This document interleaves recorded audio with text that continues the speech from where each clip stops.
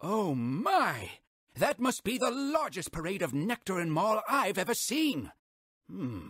Truth be told, it's the only one I've ever seen. What do you think is going on? They are marching hard, and they don't look happy. This is a very odd occurrence, an odd occurrence indeed.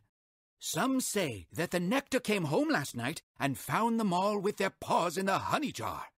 I would guess that they are traveling to the hidden realm to work out their differences at the Great Oni Dojo.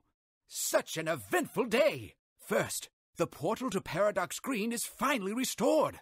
And now this! It's enough to make a Scratch's head spin. What is Paradox Green, you ask? Paradox Green is a wondrous place full of mystery. Perfect for an adventurer like yourself. And if that is not enough to excite you, Paradox Green is also the birthplace of the greatest Funkey engineer to ever live, the legendary Dr. Tinker. I am so relieved that the portal is finally open again. This could mean great things for the Funkeys.